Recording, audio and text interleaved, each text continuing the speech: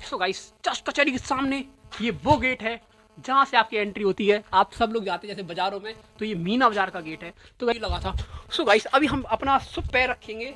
अब मीना बाज़ार में, ये! अब हम आ चुके हैं मीना बाज़ार में, और ये दुकान है। ये बड़ी परिसर की दुकान है, जैसे बड़ी बड़ी चीज़ें यहाँ पर मिला करती थी। यहाँ अपने सामान वगैरह यहाँ रख सकते थे, और यहाँ मीना बाज़ार के लिए यहाँ से एंट्री करेंगे। बट फिर यहाँ से आपको छोटी छोटी दुकानें अलॉट होती थी, जब ये रही वो दुकानें। तो आपको मैं अंदर से बगल से दिखा देता हूँ। उस समय की दुकानें कैसी थी तो ऐसी हुआ करती थी दुकानें। देख सकते हैं इसमें सामान रखने के लिए और बाकी सारा सामान। तो एक भी दुकान में बिल्कुल उन्नीस बीस का अंतर नहीं है, बिल्कुल सारी दुकानें सेम बनाई गई हैं। देख रहे हो यार अभी जो आप मीना बाज़ार देख रहे हैं, यहाँ से ये रास्ता है, पर उससे हम अभी अंदर नहीं जाएँगे, वहाँ पे और पहले ये प्लट देख लीजिए। यहाँ जो सारे लोग यहाँ बाज़ार में इकट्ठा हुआ करते थे तो राजा यहाँ से नगाड़े बजवा के आदेश देते थे और वहाँ पर कचहरी में बुलाया जाता था, जो काम हो या कुछ कोई राजा आया या कुछ कार्यक्रम है उसमें तो अभी गाइस अभी हम एक मंदिर जा रहे हैं मकर मंदिर। कहा जाता है कि जो मित्रों हनुमान जी के बेटे का नाम मकर ध्वज है। हनुमान जी का ये बेटा एक शक्तिशाली मछली से पैदा हुआ था। ये तब हुआ जब लंका को पूरी तरह जलाने के बाद भगवान हनुमान अपनी पूंछ को समंदर में डुबा रहे थे। ऐसा माना जाता है कि उस समय मकरध्वज नाम की मछली ने उनका पसीना निगल लिया जिसके बाद ही उनके पुत्र मकरध्वज का जन्म हुआ। बगल में लेके जाएँगे। पहले हम आपको भगवान की दर्शन कराते हैं जिससे आपके यहाँ सब मंगल हो तो हनुमान जी का जो मंदिर है तो हम उसके दर्शन करेंगे। पहले मैं जूते उतार लेता हूँ। आज मंगलवार है यार, कितना अच्छा दिन है। मुझे हनुमान जी के दर्शन हो गए तो अभी हम अंदर जाएँगे। सीताराम पंडित जी, महाराज आराम कर रहे हैं।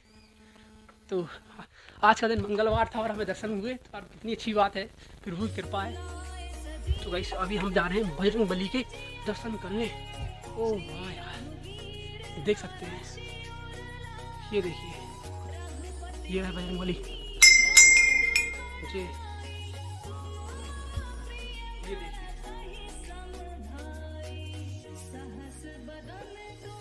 ये देखिए तो गाइस मैं आपको बगल से दिखा देता हूँ।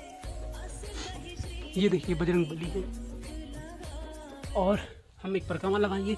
पीछे से कुछ ऐसा दिखता है। यहाँ पर एक जो बाबा जी हैं, वो अकेले रहकर इस मंदिर की देख रेख कर रहे हैं। तो ये रहा। और उनका श्रृंगार भी इतना सुंदर है, मैं आपको दिखा देता हूँ। थोड़ा झूम करके। ये देखिए, काफ़ी सुंदर वस्त्र पहन रखे हैं बजरंग बली ने। आ यार। ये मकर ध्वज हनुमान जी हैं। कहा जाता है, ये पांडव जो यहाँ आए थे, उनके बारे में इनका इतिहास मिलता है। तो अभी हम उनसे जानने की कोशिश करेंगे। तो नीचे चलते हैं।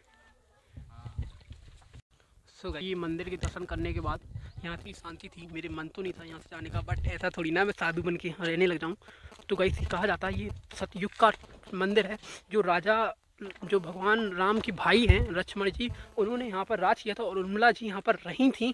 तो उस समय की है। तो गाइस यहाँ पर हम चलते हैं तो नीचे। जैसे आप पूरा वाटर सप्लाई यहाँ की यही है।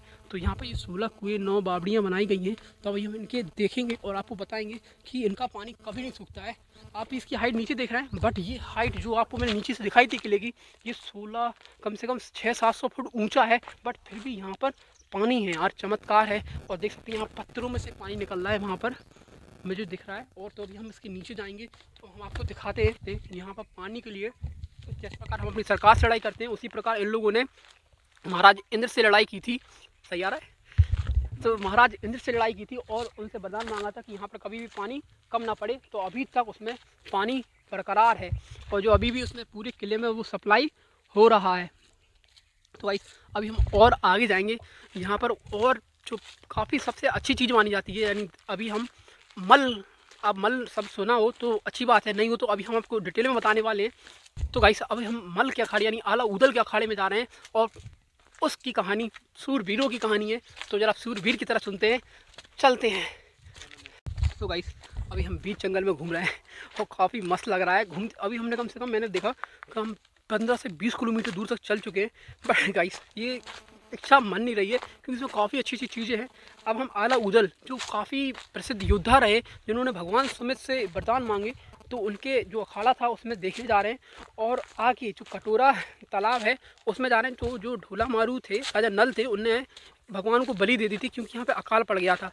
आप देख सकते हैं, इतनी गर्मी में भी ये सारे खिलफिला रहे हैं, पानी की वजह से। तो जब ये अकाल पड़ गया था तो उनने अपने पुत्र और मारू, जो उनकी बहू थी, जो राजस्थान की थी, उसकी बलि दे दी थी। तो अभी हम वो भी देखेंगे और भगवान देखते हैं कितने प्रजा के लिए राजा क्या क्या करते थे। आप देख सकते हैं, उन्होंने अभी आप जो सामने देख रहे हैं, ये बोना चोर की हवेली है। इसने काफ़ी, इन्होंने काफ़ी सोना लूटा था और इन्हें एक वरदान था कि ये कभी नहीं पकड़े जाएँगे। तो ये उनकी हवेली है, अभी आप इसके अंदर जाएँ तो सोना मिल सकता है। बट अभी हम आपको वो दिखाने जा रहा हूँ, वो भूमि से अवगत कराने वाला हूँ, जहाँ पर राजा नल और उदल के बीच युद्ध हुआ था, मल युद्ध हुआ था, जिससे वो रानी अपना प्रेम, जो उनका प्रेम था, फूलवती, जो फूल फूला देवी उन्हें जीता था। तो वही अभी हम इस तरह यहाँ से नीचे उतरते हैं।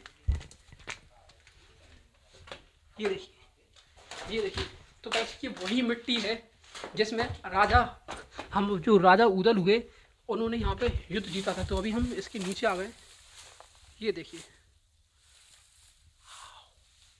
तो गाइस यहाँ से वो उन्होंने युद्ध खेला और ऊपर से बैठकर लोग भाग देखा करते थे। यहाँ पे प्रजा या कोई राजा वगैरह जो बड़े बड़े अधिकारी हुआ करते थे, वो यहाँ बैठा करते थे और जस्ट सामने एक द्वंदी यहाँ से आया करता था।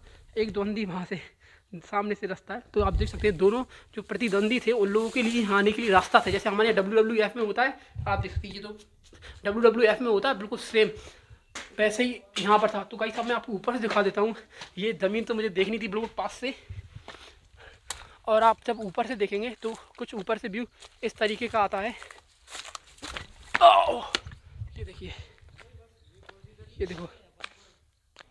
ये देखिए। ये दिख रहा है ना? ऊपर से ऐसे और यहाँ से मल युद्ध हुआ। यहाँ पे ये जालियों के निशान थे। यहाँ जाली बनाई थी कोई गिरे ना। तो इसमें जालियाँ गड़ी थी वो टूट गई हैं पत्थरी की थी। ये देखिए। यहीं से वो अपना प्रेम जीते थे जैसे दंगल। ये वही यही वही मिट्टी थी, जिसे मैंने छुआ, आपने देखा?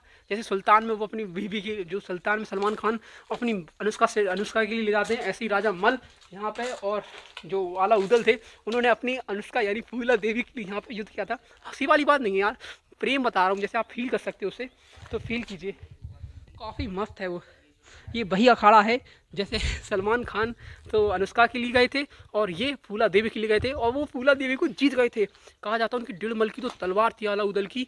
कई मुझे पता है बहुत से लोगों को राजा उदल के बारे में नहीं पता हुआ बहुत से कम लोगों को पता हुआ और आप जानते हैं तो प्लीज़ ज़रूर कमेंट करना कि मुझे पता तो होना चाहिए कि कितने लोग उसको जानते हैं।